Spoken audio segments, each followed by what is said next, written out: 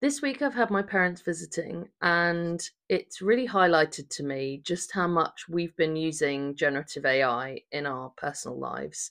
Um, not so much letting the kids use it because I'm super cautious about what they're exposed to at the moment, and I I feel like that's uh, an episode in its uh, on its own. Like, how do we actually um, allow kids access and when and how?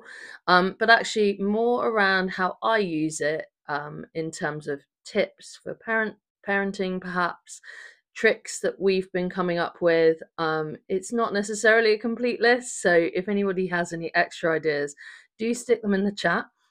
Well, I think what I'm going to do is make a series of shorts just talking through um, what each of some of the ideas that we've been using, um, maybe without even thinking about it, things my mum has pointed out that we've been doing that I maybe haven't even noticed. Um, and maybe it's helpful to everyday people. Um, one of the other reasons that um, I wanted to talk about this, and it's the main reason that I make this channel, um, is because 70 something percent of ChatGPT users are men.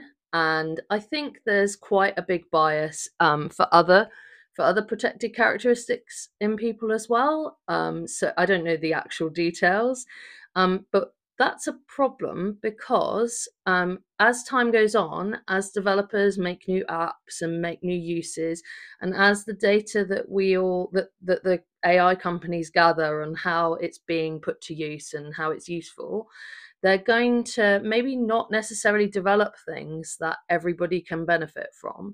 And so I'm kind of on a little mini mission to make sure that there aren't some groups of people who are the wrong side of a future AI divide, in the same way that having the internet in the past um, or not having the internet has made big societal and international divides between people and what they have opportunities to be able to do if they do or don't have the internet at home.